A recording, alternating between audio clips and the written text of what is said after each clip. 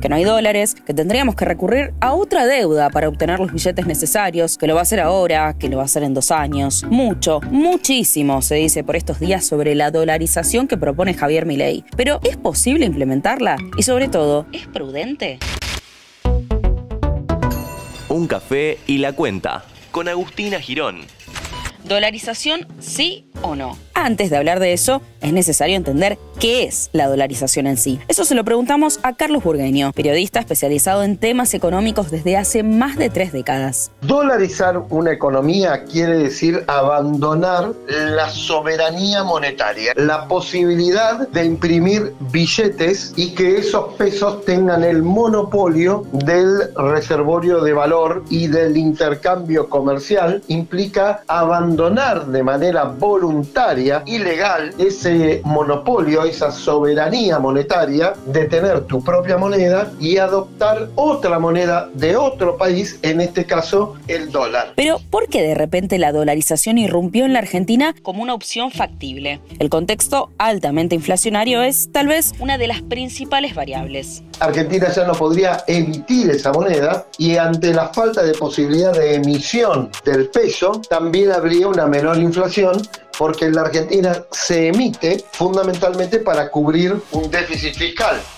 Según explica Burgueño, por un lado es difícil establecer el valor del dólar que se tomaría y por el otro es necesario tener en cuenta un concepto clave en la Argentina, la economía en negro. Bueno, es imposible o muy difícil calcular cuál sería el precio de una dolarización. Javier Milei habló de tomar en cuenta el valor del contado con liqui, 730, 740 a la cotización de hoy, pero depende de muchos factores que no son solamente los técnicos, porque uno nunca sabe la cantidad de pesos que hay en el mercado, más tenencias en los bancos, más, y este es un problema de la Argentina, la economía en negro.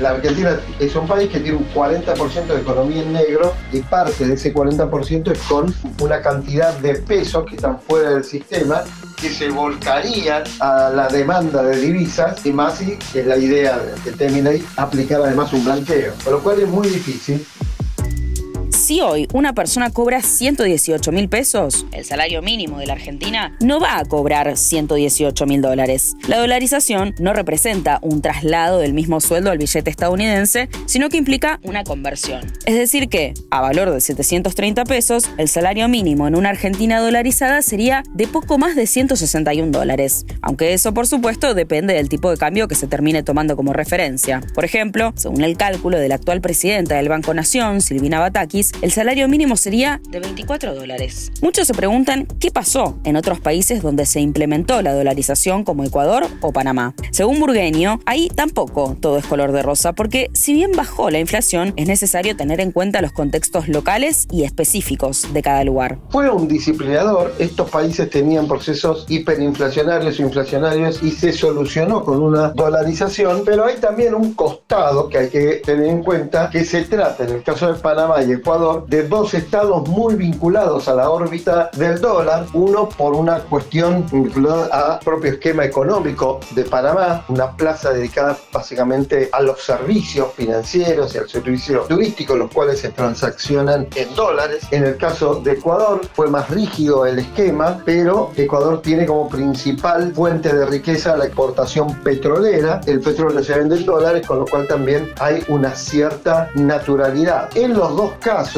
la pérdida de una soberanía monetaria y la adopción de una moneda que no es la propia te hace importar problemas económicos de ese otro país, en este caso Estados Unidos. Y esto se vivió en la pandemia y en la pospandemia, cuando en Estados Unidos la inflación subió casi al 10% que tanto Ecuador como Panamá importaron inflación. Si Milei llegara a la presidencia y quisiera dolarizar, necesitará el apoyo del Congreso. El proyecto va a enfrentar la nueva conformación de las dos cámaras que quedará definida después de las elecciones generales, cuando se decida también quién será el presidente o presidenta que rija el futuro de los argentinos. Incluso muchos constitucionalistas mencionan la inconstitucionalidad de la medida, ya que nuestra Carta Magna explicita que tiene que existir una moneda nacional, por lo que en ese caso ya habría que hablar de una reforma constitucional.